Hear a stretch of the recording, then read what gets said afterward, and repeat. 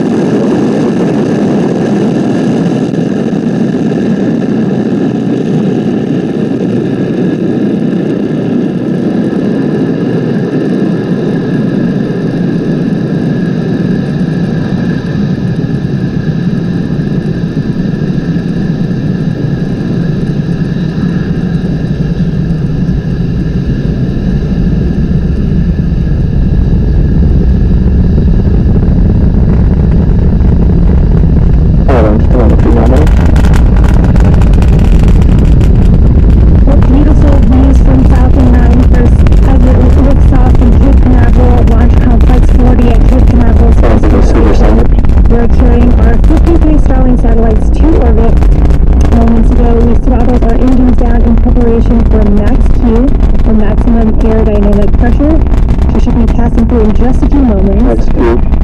We did just pass through max Q, and we will have three events happening in quick succession in just a few minutes, which first we will have main engine cutoff, followed by stage separation, and second engine startup one. So first main engine cutoff, or MECO, is where all nine of the Merlin 1D engines that you can currently see firing will shut off to slow the vehicle down in preparation for stage separation. And this is where the first and second stages will separate, with the first stage starting to make its way back down to Earth for landing, while second stage continues on its journey to its third event, which is second engine startup one. And this is where the single MVAC engine on the second stage will light up, and this propels the MVAC, uh, propels the second stage along with our Starlink satellites to their targeted orbit. We're about 30 seconds from main engine cutoff here. Want to watch for uh, main engine cutoff, stage separation, and SES1. They'll happen just a few seconds apart from one another.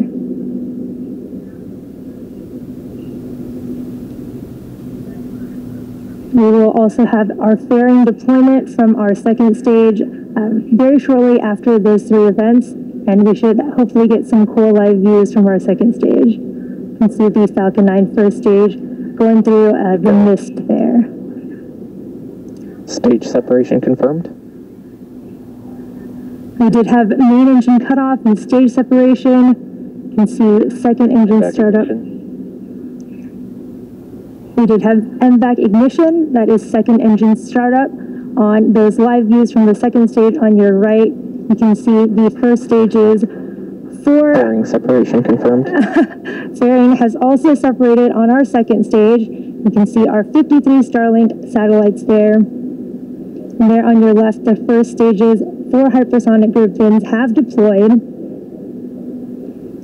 And again, we did have that successful fairing separation, and fairing, uh, SpaceX has now reflown Falcon fairing halves since November of 2019. And again, this was our third flight for one of those fairing halves and second flight for the other half. We'll be attempting to recover those fairing halves again today using our recovery vessel Finn.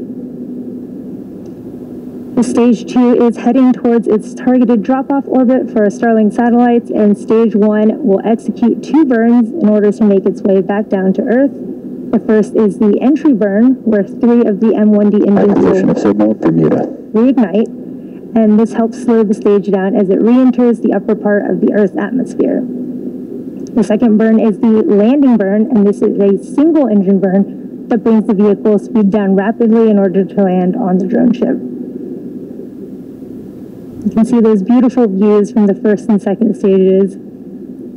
Those little puffs of white gas you see on the first stage are nitrogen gas from our attitude control system. And the second stage MVAC engine is continuing its burn, carrying our 53 Starlink satellites.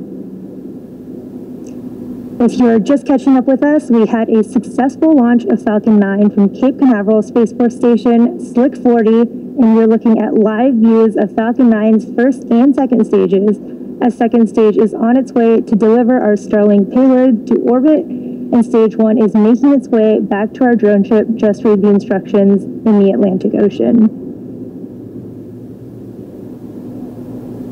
Now, the Merlins on the first stage, Both vehicles are following nominal trajectories.